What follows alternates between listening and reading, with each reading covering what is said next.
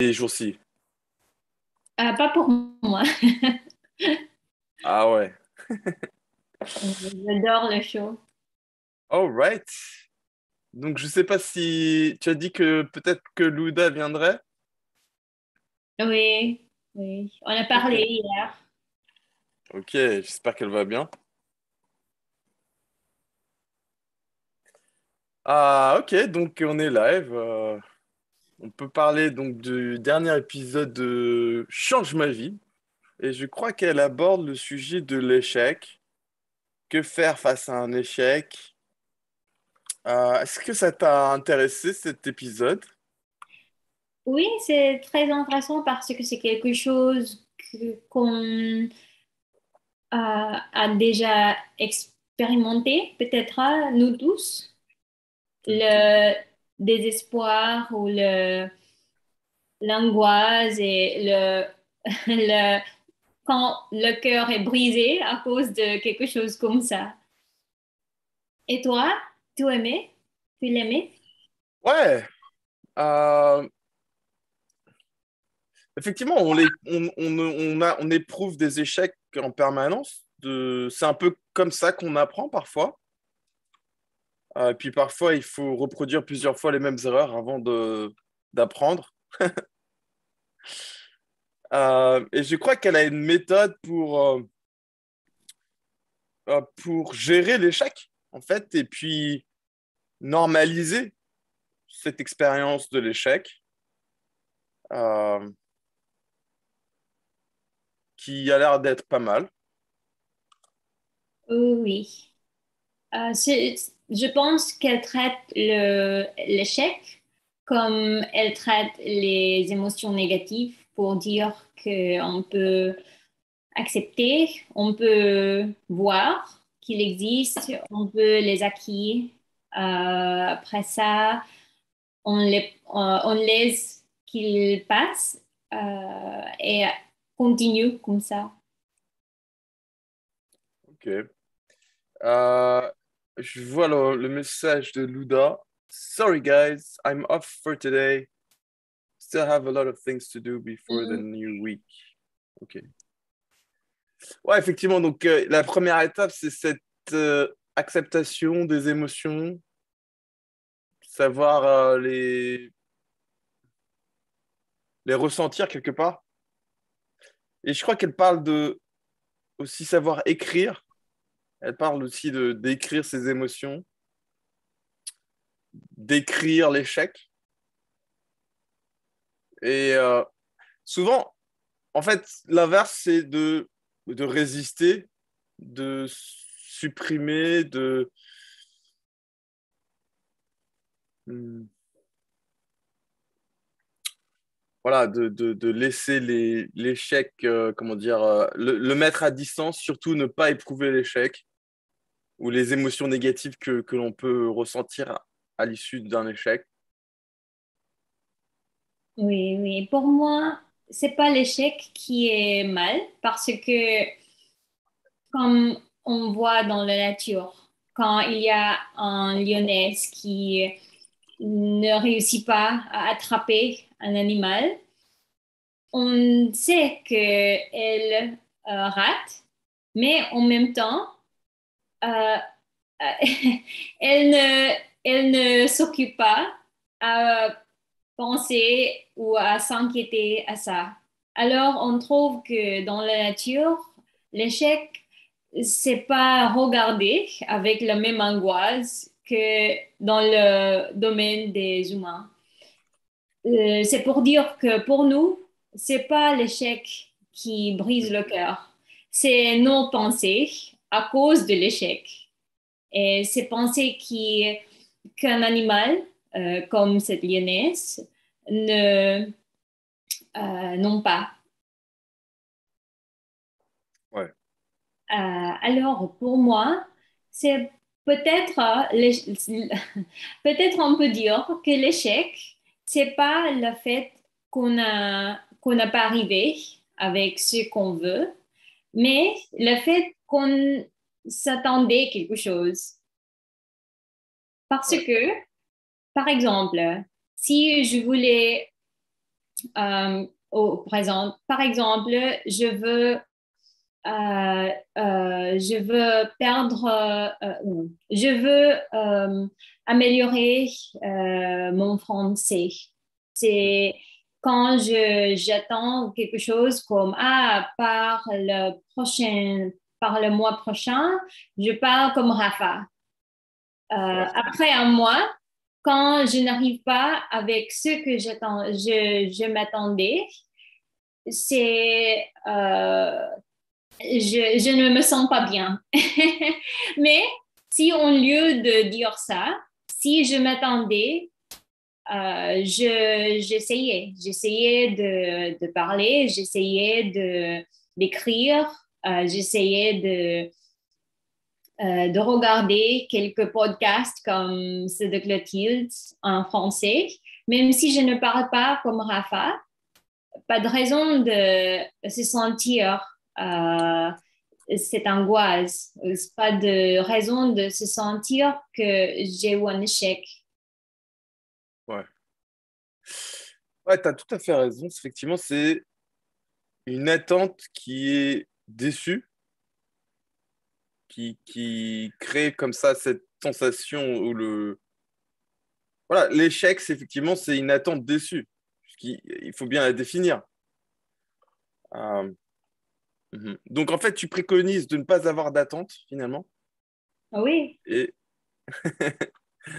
euh, et d'avancer quand même dans la bonne direction. D'avoir une direction, mais des attentes plus, plus vagues, plus, plus flexibles, on peut dire qu'on essaye parce que, par exemple, euh, il, y a des il y a des programmes d'exercice, euh, n'est-ce pas, par des experts.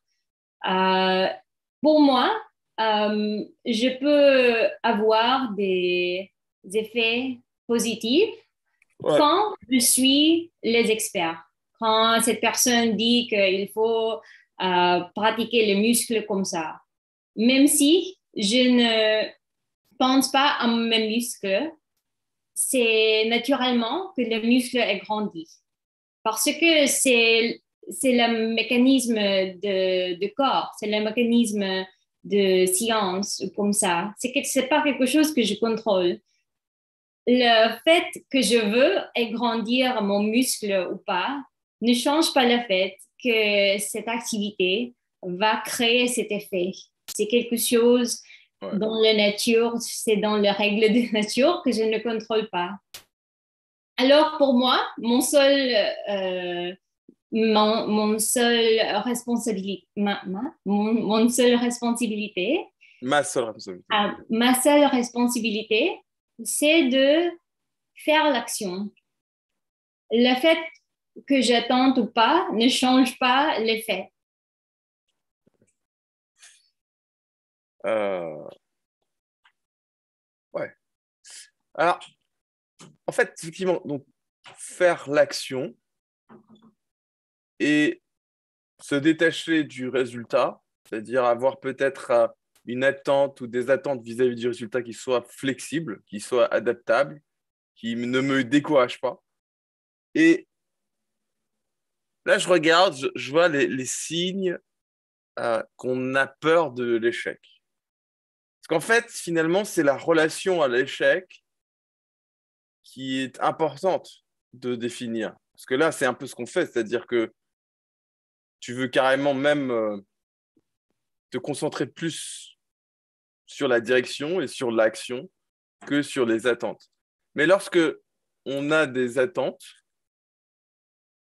importantes, eh bien, on va, on va peut-être, on va sans doute ne pas prendre l'action, ne pas faire d'action et on va être anxieux, on va se sentir euh, isolé ou sans pouvoir.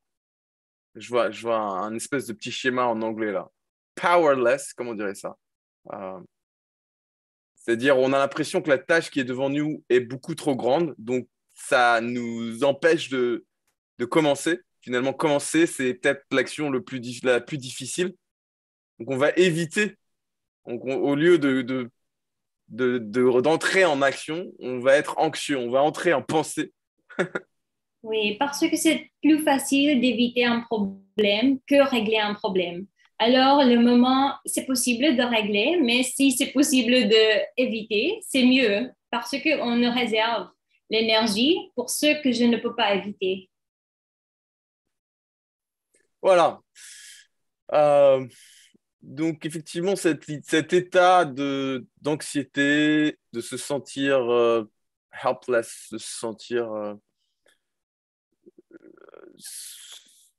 voilà, face à un problème sur lequel on n'a aucun pouvoir. Être indécis aussi, je vois ici, être indécis, c'est-à-dire on ne sait pas quelle voie emprunter, par où commencer. Et feeling out of control, c'est-à-dire que on se sent dépassé par, euh, par, euh, par les événements.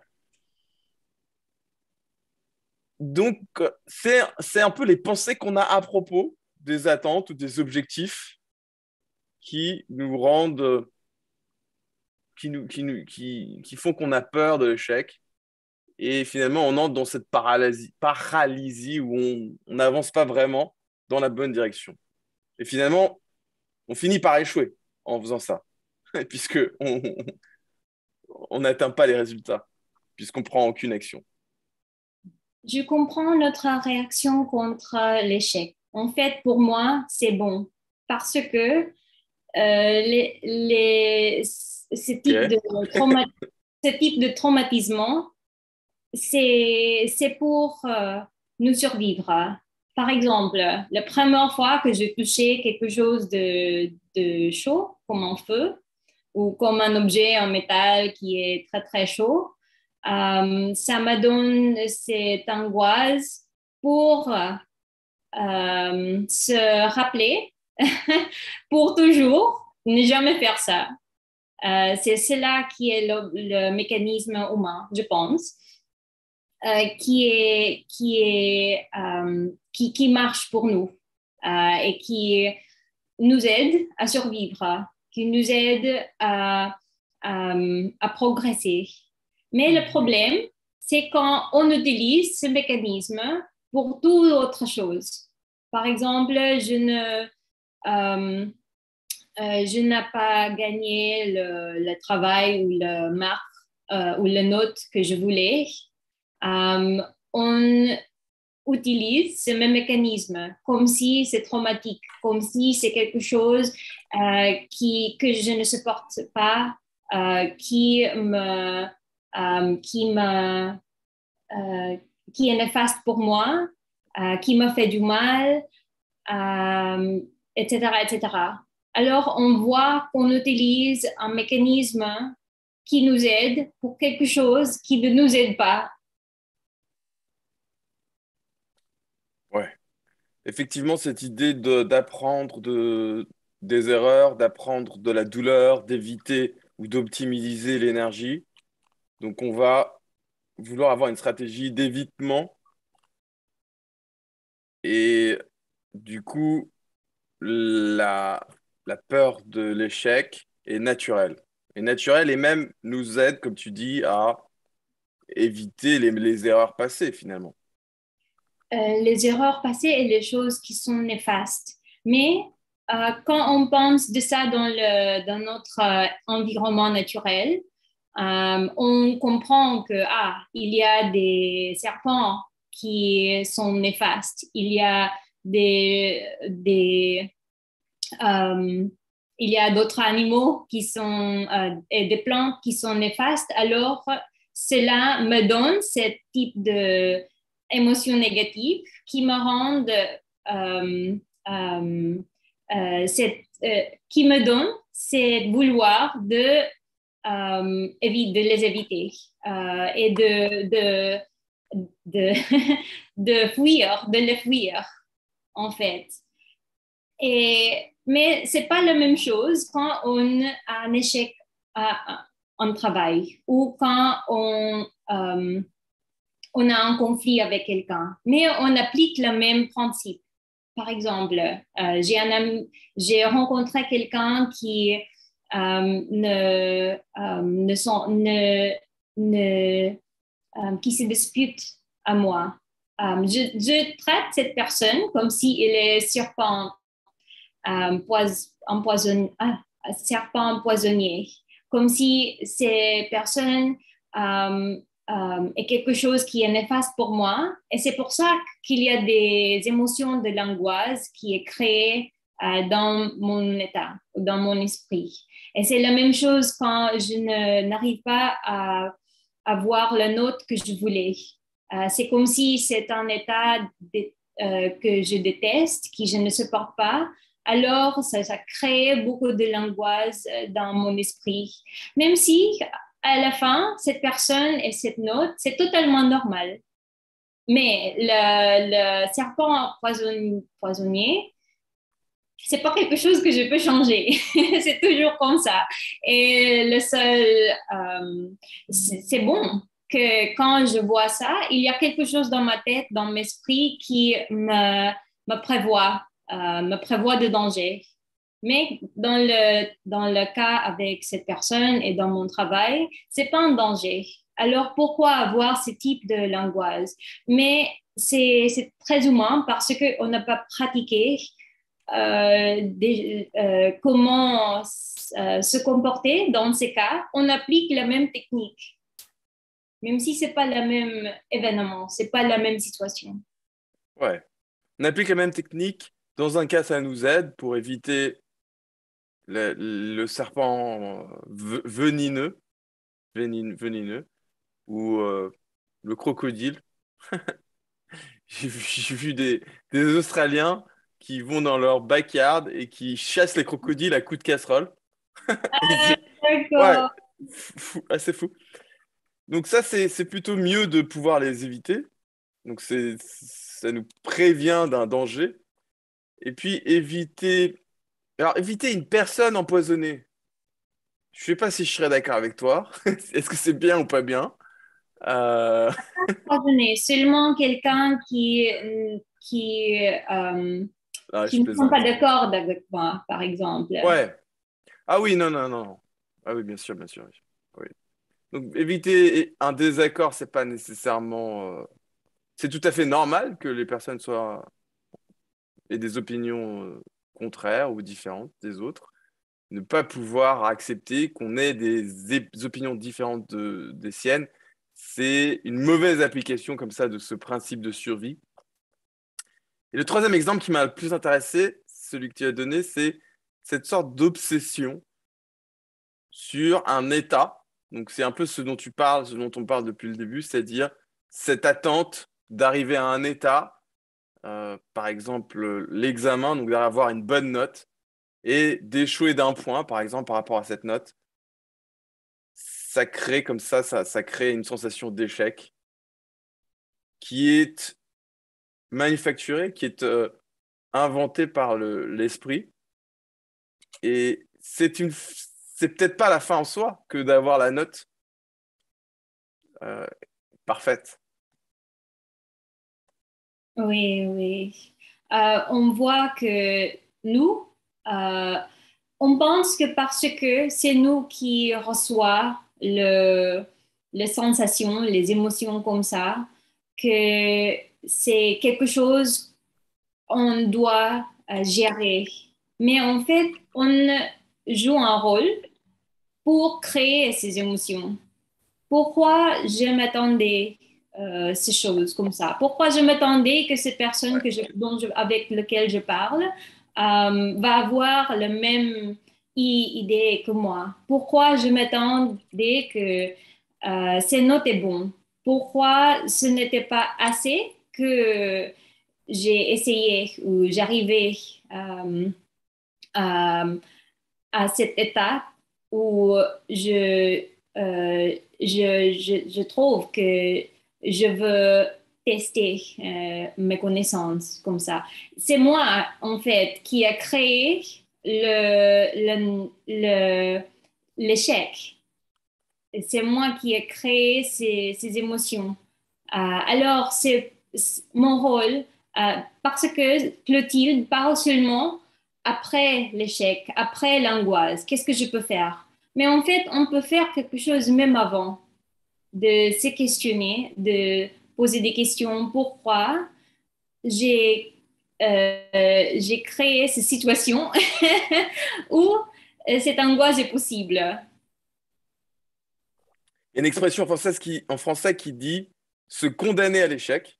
Donc peut-être avoir des attentes trop difficiles et du coup ne, voilà, ne pas se permettre suffisamment de marge pour réussir.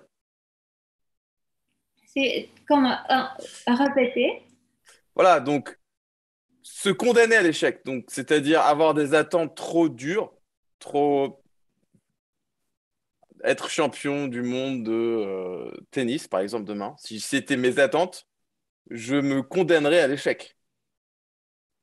Sans doute qu'il faut commencer très jeune, que donc il faut avoir une marge, il faut avoir la marge de toute une vie pour devenir champion de tennis.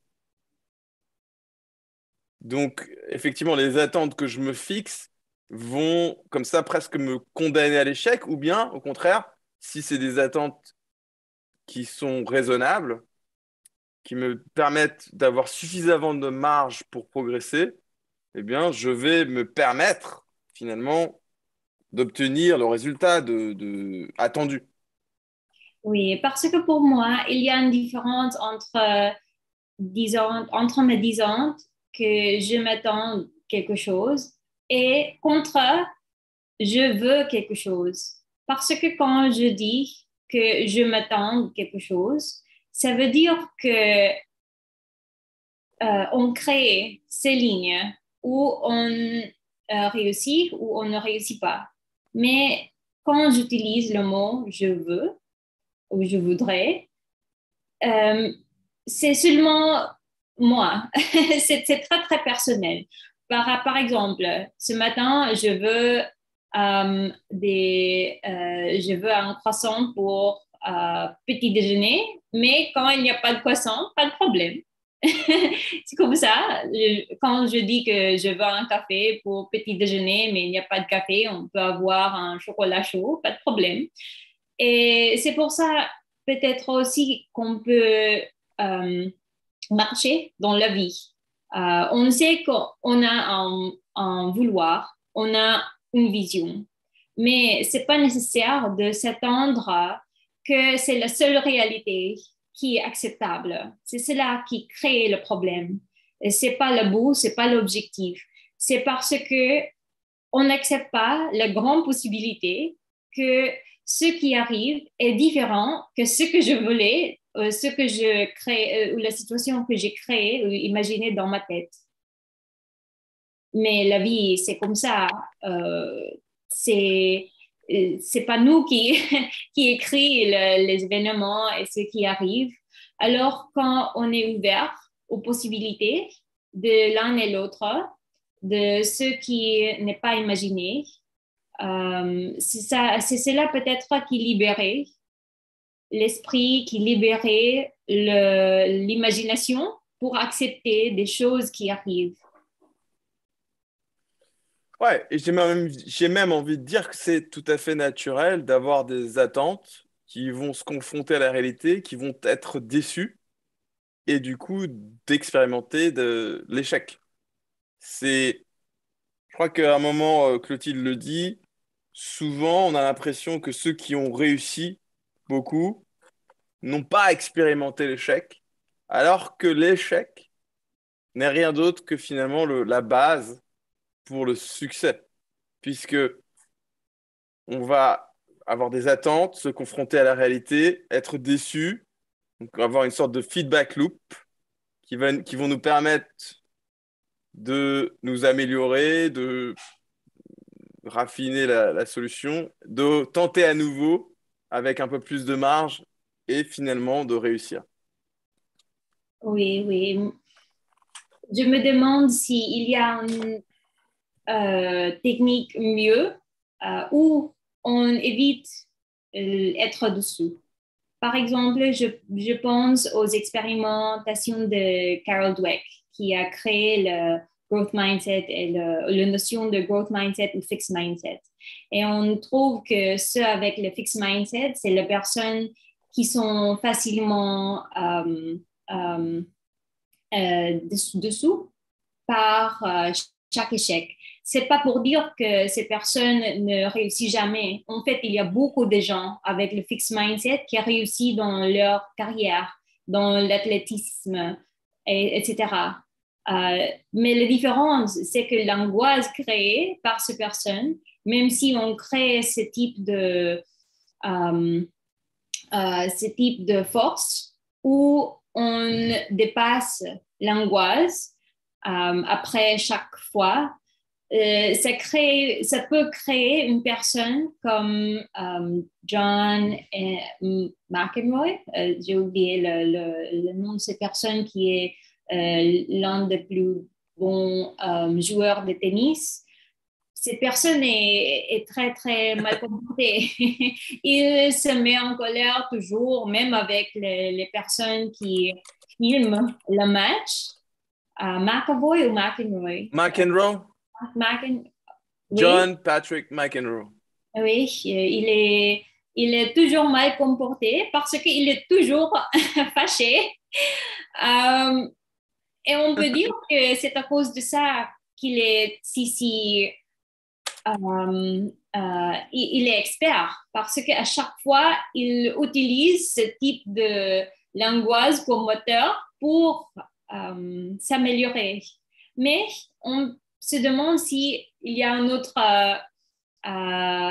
peut-être il y a une autre technique parce que, par exemple, moi, c'est ma seule vie je ne peux pas passer euh, ma vie avec l'angoisse juste pour euh, avoir ce type de succès.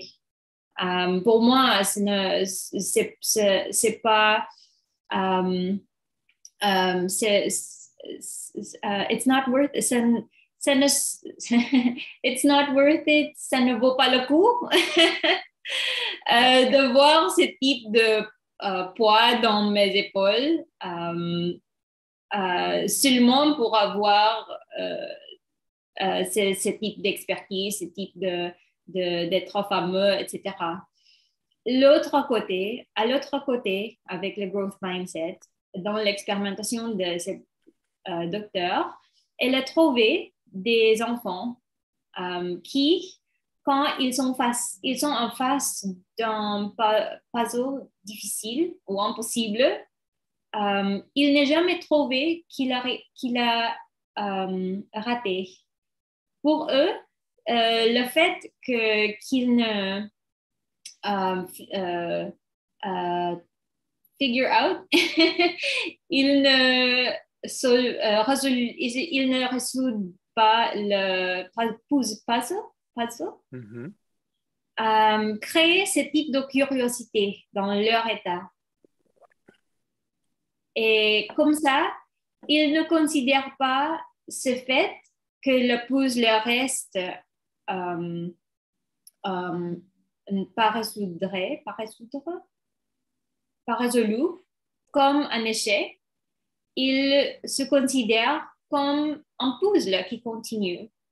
Alors, il évite l'angoisse et il, il crée plus d'énergie euh, pour continuer.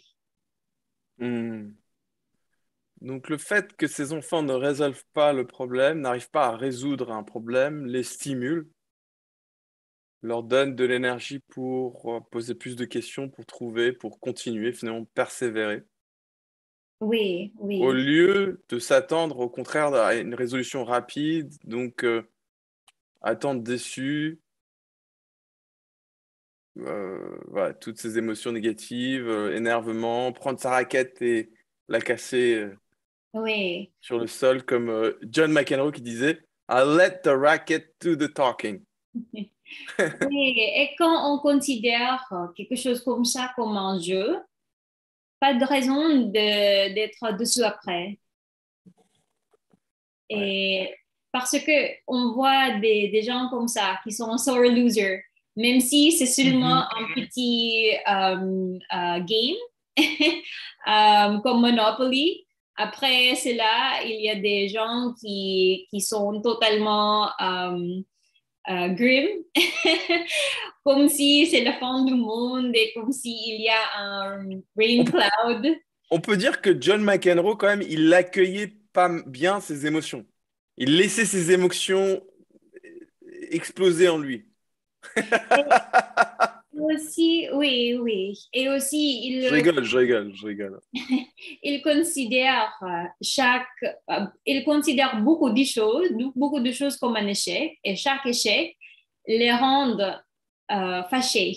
Et c'est pas une bonne euh, manière pour vivre comme ça. Parce que dans la vie, pas seulement, même si quand on n'est pas athlète, athlète, athlétique, athlète, c'est toujours comme ça. Um, on, pense que pour arriver au supermarché, ça prend cinq minutes. Mais la réalité, il y a euh, euh, circulation, etc. Et ça m'a pris 20 minutes. C'est la même chose.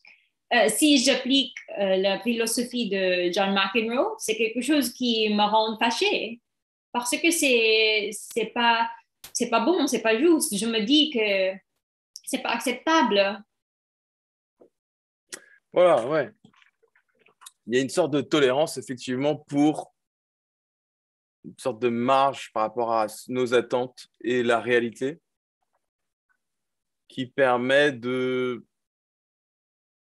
ne pas percevoir les événements comme un échec finalement ou comme une déception de nos attentes mais plutôt comme une version de la réalité qui est acceptable et dans laquelle on peut jouer. On peut jouer avec nos cartes.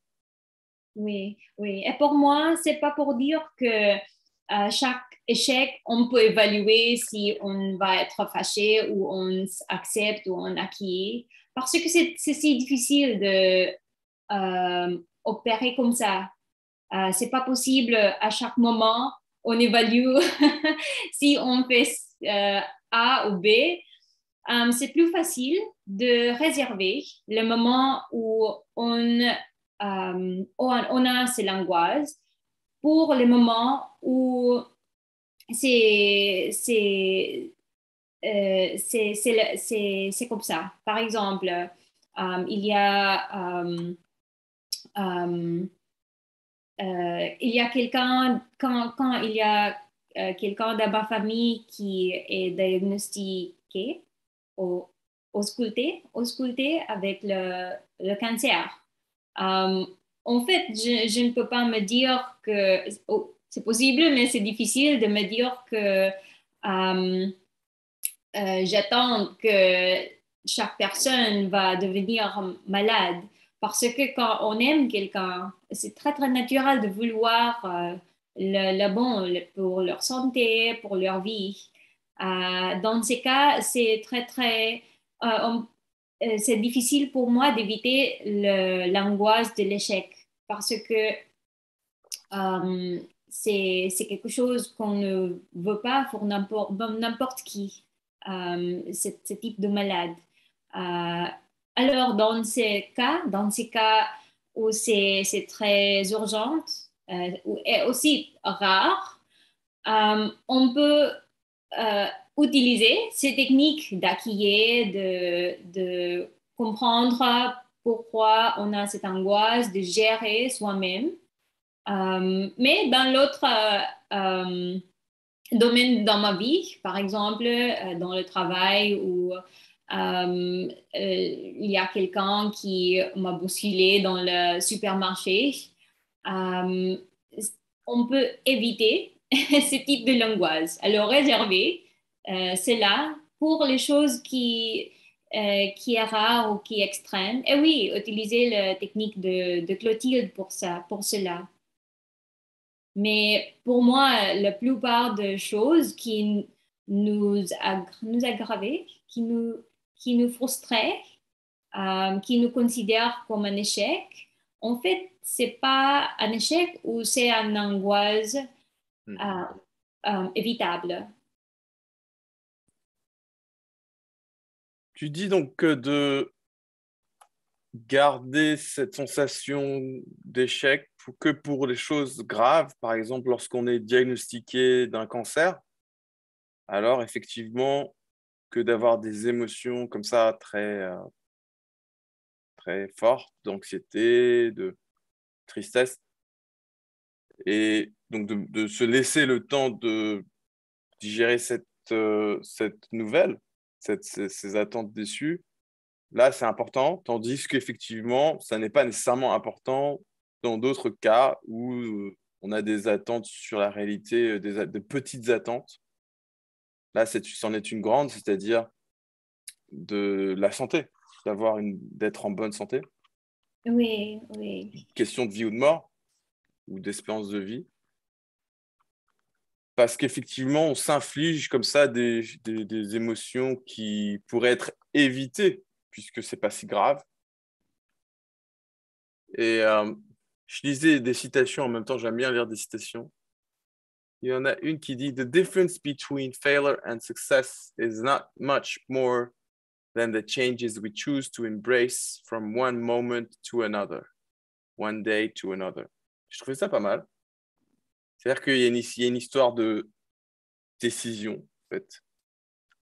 D'un moment à un autre, on peut décider de, sub, de subir, de subir un échec, ou de vivre quelque chose comme un échec alors que si, lorsque ce n'est pas si grave, on peut effectivement accepter la réalité. Oui, oui. Et les petites choses, par exemple, dans le travail, euh, je voulais... Euh, c'est normal de vouloir euh, un salarié plus grand, euh, mais quand c'est cette année, les managers disent que c'est pas possible parce que ABC. Um, il y a des gens qui, euh, pour eux, c'est un échec parce que ils ont travaillé beaucoup la dernière année pour arriver à, ce moment-là. Um, et ceux qui s'attendaient comme salaire, salariés n'arrivaient pas ou n'était pas possible. Et euh, pour moi, on peut euh, c'est la réalité. Euh, et quand on vit comme ça, comme ces personnes qui s'attendent des choses, euh, on n'est pas réalistique parce que la vie est très dynamique. toutes les choses peuvent arriver à n'importe quel moment. quand on s'attendait aux choses, c'est parce que c'est l'illusion de vie moderne. La vie moderne où les choses sont stériles, les choses sont prévisibles alors on, euh, on apprend de, euh, on apprend à, on apprend à, mm-hmm. on apprend à, euh, à s'appliquer ce principe dans tous les éléments, tous les éléments de la vie. Mais en fait, c'est une illusion. et quand c'est une illusion, c'est vrai que c'est très très facile d'être dessous parce que on vit en, rêve. Euh, quand on vit dans le monde réel, où on comprend que la tempête arrive, euh, les choses, il y a d'autres personnes qui sont plus puissantes, qui sont plus, plus bon connectées, et c'est possible que cette personne réussit, ou cette personne est choisie en lieu de moi, euh, on, trouve que ce n'est pas, pas un échec euh, pour moi, parce que la seule chose qui est dans ma contrôle, mon contrôle, c'est de faire ce euh, de faire mon travail, mon propre travail. L'opinion d'autres personnes de cela, le, le fait qu'il y a des, des, gens qui sont plus visibles ou plus bon connectés, c'est pas dans mon contrôle. Alors, ce qui arrive à cause de tous les, euh, toutes les choses qui existent euh, n'est pas dans mon contrôle. Euh, c'est comme ça. Mm-hmm. Peut-être simplifier l'exemple. Par exemple, quand j'ai eu le, dispute avec ma, nièce ou avec n'importe quel, n'importe, n'importe qui, par exemple mon, ma patronne comme ça. Ah, ouais. C'est vrai? Un exemple, ça me donne de la matière à penser. C'est vrai que quand j'engage, je m'engage euh, à cette personne, euh, je voulais euh, convaincre cette personne à ce que je pense. Parce que pour moi, j'ai fait cette analyse, j'ai trouvé des, des, qui, sont, qui, qui se connectent bien, etc., etc. Mais la réaction de ma nièce, de mon patron, de mon, voisin, etc., euh, n'est pas dans mon contrôle. Alors pourquoi je m'attends que après cette discussion, que cette personne va être accorde à, moi? C'est une illusion. La seule chose que je peux m'attendre, euh, c'est que je m'explique bien ou que je, j'essaie, euh, de, de, les engager euh, bien dans la manière qui est, euh, qui est optimale, qui est humaine, etc. Leur réaction, je ne peux pas euh, attendre en réaction bon parce que c'est pas moi qui contrôle leur réaction. Je contrôle ce que je dis, ce que je fais dans le moment où j'explique, où je, les engage. C'est tout. Alors, comme ça, même si à la fin de cette discussion, ils ne sont pas d'accord, euh, ils, restent avec leur opinion, avec leur... Euh, euh, ils restent comme ça et rien change c'est pas un échec parce que pour moi, euh, j'arrivais à faire euh, ma part. J'ai essayé. C'est tout qui est possible. Tu parles de persuasion, c'est-à-dire, ouais. tu sais le, le livre de Dale Carnegie, la seule façon de persuader quelqu'un de faire quelque chose, c'est de faire en sorte qu'elle le veuille elle-même. Oui. Ouais, qu'elle le veuille. Ah, tu peux pas faire faire quelque chose à quelqu'un sans que cette personne le veuille. Oui, mais même si il, il, euh, il m'aime comme ça, et même s'il m'aime, c'est possible qu'il euh, qu'il continue à penser différemment que moi. Euh, alors, la réaction, la persuasion, dans le, dans le acte de persuader quelqu'un, leur réaction. Ah, mais je comprends ce que tu dis. Ouais. Tu parles en fait du traitement de soi après ce qui, pourrait être considéré comme un échec. Et donc, peut-être dans ce cas-là, il y a une sorte d'analyse, c'est-à-dire, euh, est-ce qu'il s'agit vraiment d'un échec? Non, puisque, comme tu dis, tu as fait tout qui est tout ce qui était dans ton pouvoir pour euh, que ça réussisse. Et ensuite, le résultat n'était pas, n'était pas en ton pouvoir, donc ce n'était pas un échec. Oui, l'échec pour moi, si, c'est quand euh, euh, je, je, rate le contrôle. Quand je rate le contrôle et je, je deviens fâchée euh, en expliquant quelque chose. Parce que c'est pas la, la, la manière efficace, c'est pas la manière optimale pour les persuader. Alors, dans ces cas, je me comprends, euh, je comprends totalement que c'est un échec de ma part parce que j'ai euh, raté avec mon objectif de euh, faire mes actions avec excellence. Ouais. Ouais, effectivement, là, tu vas dans ton analyse post-échec, tu vas constater que finalement, tu as, tu as fait tout ce que tu pouvais et du coup, que, au contraire, c'était une réussite, même si le résultat n'est pas là. Euh, le résultat, euh, je ne considère pas le résultat parce que c'est possible aussi que, par, exemple, euh, par exemple, je me, je me rends en colère, je, me mis en colère. Je me mis en colère et après ça, cette personne a cédé et cette personne m'a donné ce que, je veux, etc.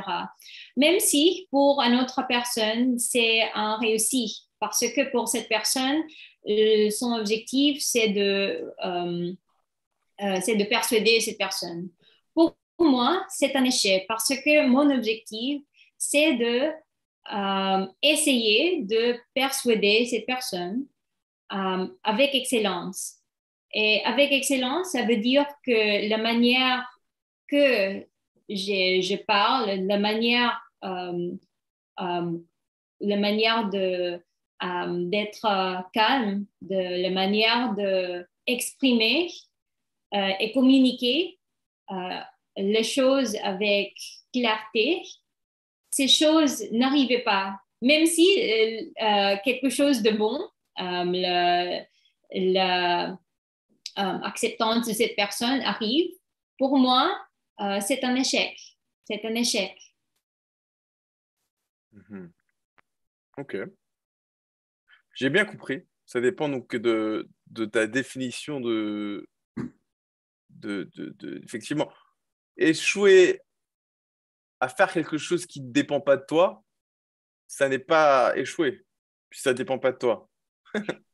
oui, ne s'étend pas aux choses qui ne dépendent pas de moi. ouais.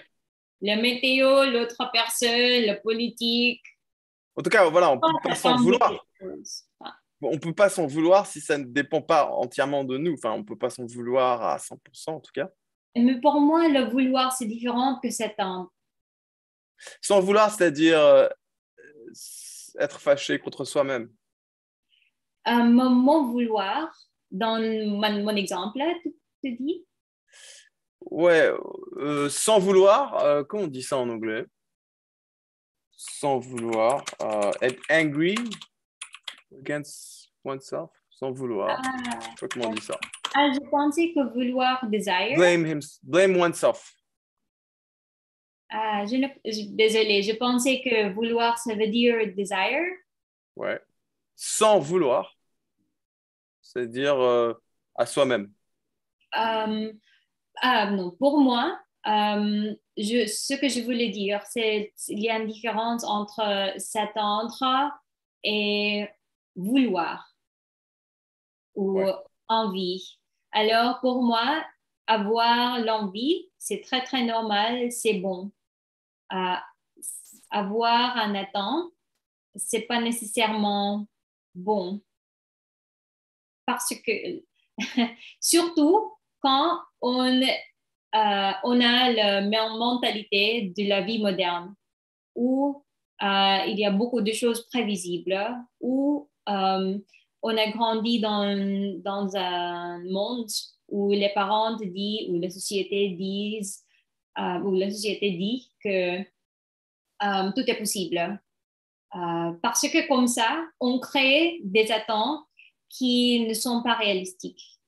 Et quand on opérait comme ça, on crée beaucoup de l'angoisse parce que la vie, on, plus qu'on vit, plus qu'on comprend que la vie n'opère pas comme euh, on pensait dans la tête.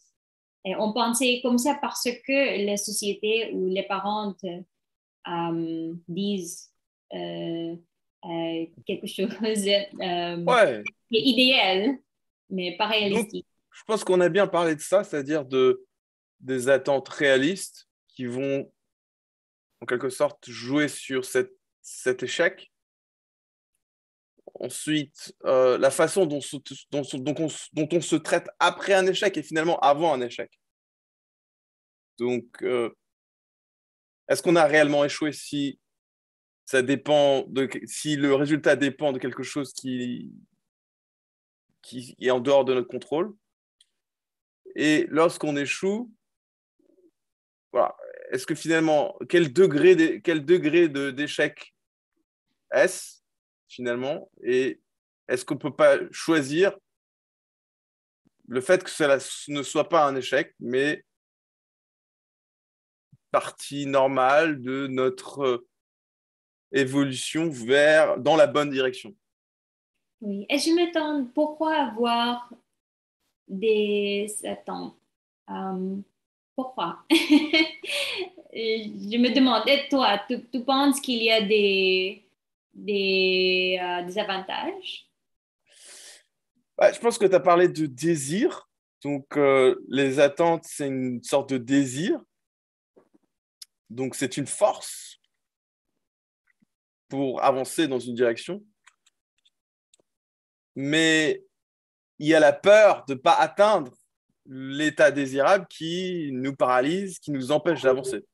Donc, c'est désirable et ce n'est- ça n'est pas désirable à la fois. Oui. Sans le désir, je ne peux pas trouver une direction. Donc, je ne peux pas me mettre en action. Et avec un désir qui est, on va dire, irréaliste, je vais être anxieux, me condamner à la paralysie, à la peur de d'échouer. Parce que pour moi, on peut avoir le désir sans attendre. Tu penses que c'est possible? Euh, je t'écoute. Oui, parce que par exemple, euh, le- la semaine dernière, j'ai eu une interview et j'ai j'ai trouvé que je, je veux travailler pour ce- cette entreprise. Euh, mais je n'attends pas euh, que je... euh, je pense que l'interview i- irait, irait aller bien. ou l'interview C'est bien passé? est assez bien passée, oui. Mais je n'attends pas euh, à, à gagner. Parce que je, euh, euh, à chaque fois, c'est vrai que naturellement, mon esprit crée ces, ces rêves ou cet euh, scénario où les gens m'appellent, pour dire que j'étais acceptée, etc., etc. Euh, où ils, ont décidé de, ça, de cela, et mon, mon salaire est comme ça. Parce que c'est normal aussi qu'on rêve comme ça. Mais euh, j'essaye de me retourner euh, en terre pour me dire que c'est pas seulement moi qui, euh, qui, est, qui a été interviewé pour ce rôle. Il y a beaucoup de gens avec beaucoup plus d'expérience que moi. Aussi, ce rôle euh, n'est pas local, Euh, c'est un rôle virtuel. Alors, euh, mes concurrentes, c'est tous les, tous les gens américains qui, qui veulent travailler pour cette entreprise. Et comme ça, ça crée cette sensation de, de euh, me réduire mon excitation, ma excitation, ah non, mon excitation. Euh, et je pense que ça a enlevé cette attente euh, de avoir, d'avoir ce, travail, de réussir avec euh, cette sélection. Alors, si le mois prochain, le, mois prochain, euh, il me donne un email qui me dit que j'étais rejetée, euh, dans ma tête, j'ai déjà préparé pour cet événement qui est totalement possible. Mais si je reçois un appel ou un email euh, de l'inverse, euh, c'est bien. Mais euh, l'un ou l'autre, je ne créais pas cette angoisse parce que je n'attendais rien. Ouais. C'est-à-dire quand on a des attentes, on va magnifier le résultat, le- l'effet du résultat potentiel, je pense, Oui, au lieu d'avoir un désir qui est euh, qui est réel, qui est, euh, qui est honnête, genuine, comme on dit ça en français, je sais pas. genuine. Tu sais dire genuine en français? authentique? Authentique, voilà, véritable. Au lieu d'avoir un désir authentique et de s'inscrire dans une sorte de continuité, plutôt que dans l'atteinte de résultats qui changeraient toute une vie. Oui. Et en fait, trois bénéfiques que je, je trouve maintenant. Premièrement, euh, je ne me euh, mentir, je ne me mentis, je ne me mentis pas. Je ne me mens pas. Ah, je ne me mens pas euh, en disant que ah, je ne voulais pas ce travail. Parce que je sais qu'en réalité, je veux, je le, je le veux. Euh, il y a des gens que faire ce type de euh, mensonge, mensonge, live, pour mensonge, pour réduire l'angoisse. on dit que ah, je ne voulais pas c'est bon que je, n'avais pas cette chose comme ça, que, etc. On, euh, on utilise un mensonge pour euh, se tromper. Et moi, avec ma technique, pas de raison de faire, pas de raison de faire ça. Deuxième, euh, comme tu dis, on minimise l'effet néfaste dans, dans, d'un événement pas attendu ou pas plus mal. Par exemple, qu'il accepte, il il quand, par exemple, il accepte quelqu'un d'autre. Euh, j'ai réduit euh, l'effet néfaste euh, à moi. Troisième, troisième chose, en fait, on égrandit l'effet l'effet positif d'un effet quand quand le, résultat est bon pour moi. Par exemple, euh, si ce week-end, j'ai passé le week-end avec beaucoup de rêves, avec le salarié, l'acceptance, etc. Le salaire. À le, salaire, le salaire, l'entreprise, les choses comme ça, euh, et tout ça dans ma tête. Et quelqu'un dans cette entreprise me dirait que j'étais, je, euh, serais acceptée, etc en fait, euh, je, ne, euh, je ne réussis pas. je, célébrer, je ne, je ne célébrais pas trop parce que pendant le week-end, j'ai déjà s'attendu euh, à ça. Quand la réalité arrive, c'est comme si c'est normal. Ah, c'est comme ça parce que j'ai, quand, quand, quand quelque chose attendu arrive, on le traite comme normal, comme, euh, euh, oui, comme la baseline, euh, n'est-ce pas? Parce que chaque fois que, mais maintenant que, maintenant qu'il n'y a pas de problème, je suis dans ma chambre, il n'y a pas de tempête, je, ne, je ne me sens pas comme si c'est extraordinaire, même si en fait c'est extraordinaire. Et comme ça, quand on n'a pas d'attente et quelque chose euh, pas attendu euh, qui est bon arrive, on a plus de, de, joie à cause de ça. Alors, je suis pas sûr sur le troisième point, mais je te, je te comprends quand même.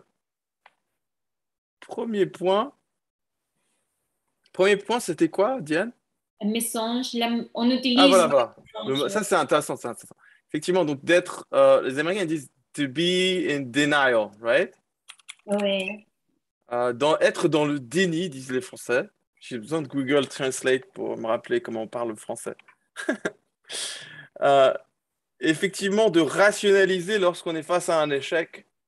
Mais je ne pense pas que ce soit nécessairement négatif de rationaliser. Ça peut l'être si, lorsque je suis dans le déni, ça continue avoir des effets négatifs.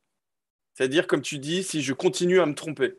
Si je continue à me tromper, alors oui, ça a un effet négatif et oui, ça me, ça me crée un tort, du tort. Mais si ça me permet de minimiser par rapport, par exemple, à quelque chose que j'avais surestimé comme un événement tellement important pour moi, ça me permet finalement de d'équilibrer et de passer à autre chose ou de rebondir. Je pense pas que ce soit nécessairement négatif. Tu es d'accord avec moi? Euh, il y a des, il y a des cas où on change l'opinion. Parce que avant je pensais que c'est si important. Et après après que les choses arrivent je me euh, je me rends compte que c'est pas trop important. Et pour ça c'est vrai que euh, c'est pas un message c'est seulement que l'opinion euh, et notre la, la perspective a changé ce que je, je dis, c'est que quand on, on est honnête et on a un échec, on ne réussit pas à avoir ce qu'on veut, on peut rester honnête avec euh, l'émotion. Euh, qu'on voulait ça, mais on accepte euh, avant, euh, avant le résultat, on accepte que c'est possible que je ne, je ne le reçois pas. Euh, on peut, euh, il ne faut pas changer euh, la vie. On peut rester avec la vie que c'est quelque chose que je voulais, c'est quelque chose que je, je trouvais important à ce moment dans, la- dans ma vie.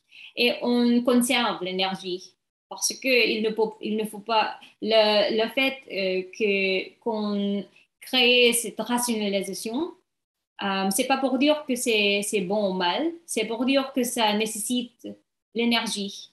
Et quand on peut réserver euh, cette énergie, c'est mieux.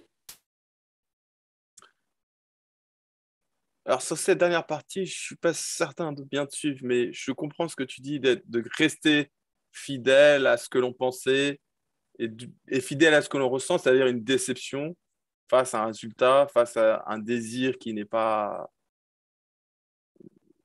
n'est pas comblé. Euh, ceci dit, je reste aussi avec ce que je disais, c'est-à-dire si effectivement, après,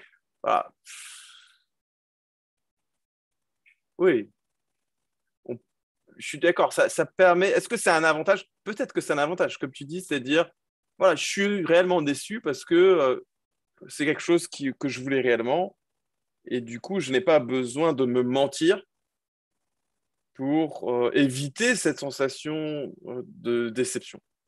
Donc, je, je suis fidèle, je suis à ce que, à mon opinion, c'est vraiment quelque chose. Et peut-être que ça va me permettre de persévérer, d'entrer par une autre porte dans la même entreprise, si c'est ça que je veux absolument. Oui, oui. Mais, mais, mais par rapport à ce que je disais, je suis quand même aussi d'accord avec ce que je disais, c'est-à-dire, ça dépend. C'est-à-dire que si je suis dans le déni et que ça me, ça me fait prendre des décisions qui me font du tort, c'est pas, c'est un déni qui est, euh, qui, qui, qui est mauvais parce que ça me crée du tort, euh, parfois même euh, du tort matériel directement. Eh bien, et sinon, il n'y a que les imbéciles qui ne changent pas d'avis. et sinon, ah, voilà, c'est une expr- il n'y a que les imbéciles qui ne changent pas d'avis, c'est-à-dire, Oui. Bah, finalement, euh, c'est pas si grave et, euh, finalement, ça me permet de relativiser ce- désir. D'ailleurs, pourquoi, pourquoi placer un désir tellement important face à une décision dont on n'a pas le contrôle? Oui, et c'est pas pour dire que euh, on ne change pas la tête. Euh, c'est pour dire que il ne faut pas gérer l'angoisse ou il ne faut pas avoir l'angoisse parce que la seule raison. euh, est-ce que c'est bien on- d'avoir l'angoisse au moment où on est déçu? C'est ça ma question en fait. euh, Est-ce que c'est bien ou pas? Est-ce que c'est quelque chose que tu veux? C'est peut-être le cas. C'est-à-dire, euh, j'ai j'ai échoué à cet examen qui est très important. Je veux devenir euh, pilote ou enfin un examen où il n'y a que cette voie-là, donc c'est effectivement important. Eh bien, cette déception, je vais va me permettre de rebondir, de recommencer, de persévérer. Donc là, ça me fait- ça me crée pas du tort, puis ça me permet de redoubler d'efforts pour finalement euh, l'année suivante réussir. mais tu dis que c'est pas possible sans angoisse de redoubler l'effort. Je sais pas si c'est ce que je dis. Mais en tout cas, j'ai compris ce que tu as dit. Mais là, prenons ton, ton cas dans, dans, le cas précis. Par exemple, tu as postulé pour, une entre, pour un job dans une entreprise, c'est un job que tu veux vraiment. Effectivement, je comprends ce désir de ne pas te désavouer a posteriori, c'est-à-dire ne pas dire ah finalement euh, ce que je voulais avant, je le veux plus maintenant parce que je l'ai plus, parce que on m'a on m'a on a refusé, d'accord? Non, je suis d'accord avec toi. J'aime bien cette idée d'être euh, intègre avec soi-même et de te dire voilà. Donc c'est un avantage comme tu dis de c'est une possibilité euh, tout à fait probable le fait que je ne sois pas reçu, même si j'ai tout fait bien, je me suis préparé, j'ai bien exécuté, donc je suis contente de moi. Mais comme tu, voilà, tu, ne magnifies pas le résultat, tu acceptes que le résultat ne dépende pas de toi, eh bien, au moment où tu échoues, ou enfin où tu échoues, où tu n'as pas le résultat, ça te, permet, ça te permet de rester intègre et de ne pas te désavouer. Et je suis d'accord avec toi aussi sur les deux autres avantages. Deux autres avantages, maintenant on peut en parler, c'était quoi? Euh, Minimiser l'effet l'angoisse, l'effet de l'angoisse ou d'avoir l'angoisse après. Voilà. Donc ça c'est... Voilà. Donc euh, effectivement, donc, comme c'est quelque chose que tu prends en compte dès le départ, donc c'est une attente possible et du coup, comme tu t'y attendais, tu n'as pas, pas d'angoisse. Tu n'as pas autant d'angoisse, tu n'as pas, pas autant de stress. Oui. Et puis finalement, si tu as l'effet positif de la bonne nouvelle, ça arrive comme une surprise. C'est ça que tu disais. Oui, alors c'est euh, magnifié. L'effet positif, le, le, sentiment de joie est magnifié. Parce que c'est la même chose, par exemple, quand on reçoit un cadeau. Quand on reçoit un cadeau dans euh, ton anniversaire, c'est bon, mais c'est attendu parce que c'est ton anniversaire. Mais dans la vie normale, quand euh, tu reçois un cadeau en attendant, beaucoup de joie, même si c'est très petit, c'est la nature de moi. Euh, alors, dans ces techniques où on n'attend pas, euh, quand les choses positives arrivent, euh, même si oh, c'est se voulait, euh, il y a un, un, effet très, très fort dans l'esprit. Voilà, donc en fait, ce dont on parle, c'est cette, cette, idée de gérer ses attentes, manage one's expectations, qui vont qui sont des techniques qui permettent finalement de ne pas avoir peur de l'échec et lorsqu'un bon résultat arrive, de pouvoir le célébrer, de célébrer plus les bons résultats peut-être. Oui. Je suis fidèle à ce que tu dis. Oui, et parce que. Ceci dit, je n'étais pas, tout à fait, pas tout à fait certain de ça, c'est-à-dire si je, me, je ne m'attends pas euh, au bon résultat, donc est-ce que ça arrive, ça arrive comme une surprise? Hmm. Oui, peut-être. Par, exemple, moi, euh, la semaine dernière, euh, c'était un bon, un bon interview pour moi. Alors, euh, dans ma tête, première attente, c'est qu'il il m'accepte. Mais quand je, je, trouve, je, je fais ce travail d'enlever cette attente, surtout parce que j'utilise cette perspective que ah, il y a beaucoup plus de personnes, beaucoup plus, il y a beaucoup de personnes avec plus d'expérience à moi euh, qui, qui interviewent aussi. Alors, si j'arrive à, avoir un, un offre euh, le mois prochain, une offre, une offre le mois prochain, je me comprends que waouh, c'est ça veut dire que euh, malgré l'autre personne qui ont tenté euh, de, qui ont appliqué pour ce rôle, c'est moi euh, qui ai été choisi par euh, cette entreprise ou par cette manager Alors, ça donne beaucoup plus de contexte dans cet événement.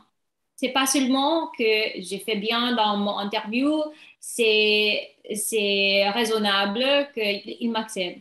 Non, le contexte, c'est que il y a 10, imagine 10 personnes qui essayent aussi, qui sont aussi euh, qui, qui ont beaucoup d'expérience, qui expliquaient leur, euh, euh, leur capacité, mais à la fin, c'est moi qui ai été choisi. c'est plus mind-blowing. Quand on, on pense dans ces contextes plus, plus haut que seulement moi, ce que j'ai fait, ce que j'attends, ce qui arrive. C'est très petit, c'est un, tunnel um, et on n'arrive pas à voir le, le, uh, la vérité, la complexité de, de, choses.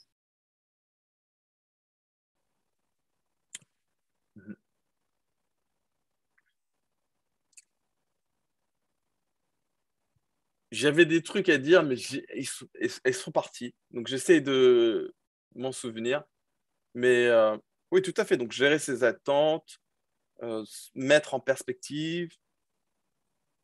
Et du coup, ça, ça nous permet de vivre ce qui pourrait être considéré comme un échec, comme quelque chose de tout à fait normal, via, dans une progression normale vers un état désiré à obtenir ce job ou un job équivalent. Oui. Euh, oui. Et comme ça, euh, je peux utiliser, si je ne réussis pas, je peux utiliser cette même vouloir, que je voulais quelque chose euh, tellement, hum, et comment trouver quelque chose comme ça, et comment m'améliorer pour avoir, pour influencer mieux l'effet. Euh, ça veut dire que les interviews après, euh, euh, j'accepte la même situation où c'est possible que je ne réussis pas, il ne m'accepte pas. Mm. Mais entre mon interview la semaine dernière et mes interviews à l'avenir, j'ai créé ces, ces euh, je prends mieux. Et alors, je peux euh, évoluer euh, comme ça. Je peux m'améliorer comme ça, sans l'angoisse, sans cette, cette bad feeling, sans cette sensation négative, dégoûtante que je veux pousser à côté. Euh, dans ma tête. On, peut, on a plus de capacité dans ma tête pour travailler pour l'avenir. Ouais. Donc, effectivement, euh, cette gestion des attentes, c'est quelque chose que je fais moi-même, qui est sous mon contrôle. Et du coup, je me donne ce luxe de continuer à avancer sans placer toutes mes attentes sous le contrôle de quelque chose qui ne dépend pas de moi. Donc, du coup, j'ai moins d'anxiété parce que si ça dépend de moi, je peux avancer, je peux faire quelque chose. Et aussi la tristesse, la tristesse de ne pas avoir ce que je voulais, ça, ça passe. Hum, quand je ne crée pas l'angoisse, la tristesse euh, de ce qui est passé passe. Hum, c'est comme ça. Mais l'angoisse de penser que c'est mon faux, que c'est quelque chose qui est, euh, qui, est, euh, qui est à cause de moi, cette angoisse me suit. Alors, quand je peux éviter ce type de l'angoisse, ça veut dire accepter que les choses que je n'attends pas arrivent. C'est humble aussi. ça, ça ça crée un tête plus calme, euh, ça crée un état euh, où j'ai plus d'énergie de travailler pour m'améliorer au lieu de s'occuper ce qui ne peut pas changer ou ce qui n'est pas euh, quand même euh, vérifiable. Parce que l'angoisse, euh, c'est parce que je pense que je ne suis pas assez, que c'est mieux à faire, mais c'est pas vérifiable. Alors pourquoi m'occuper pourquoi m'occuper de choses qui n'est pas vérifiable C'est difficile à, comprendre. Pour moi, c'est un gâchis de temps. Mm-hmm. All right. Je pense qu'on a couvert pas mal de choses. Euh, J'essaie de chercher quelque chose. J'avais pensé à quelque chose pendant la séance, puis j'ai oublié. Mais euh, ouais. Euh, donc, finalement, en, gérant ces attentes, on évite de se paralyser ou d'être paralysé avec de l'anxiété, avec euh, ce sentiment effectivement de penser qu'on n'est pas assez, que du coup, un état de désirable dépend des autres. Et en réalité, on arrive mieux lorsque on se donne comme ça de la marge pour euh, apprendre de ses erreurs et pour avancer dans la bonne direction. Et finalement, ce qui est le plus important, c'est la direction que l'on prend. Et aussi de voir, si on, je comprends, c'est normal d'avoir un attente, surtout quand on veut quelque chose. Mais euh, pour moi, ce qui est important, c'est de voir un attente réalistique. Ça veut dire un attente pas seulement dans le contexte de ce que je veux, mais dans le contexte de réalité.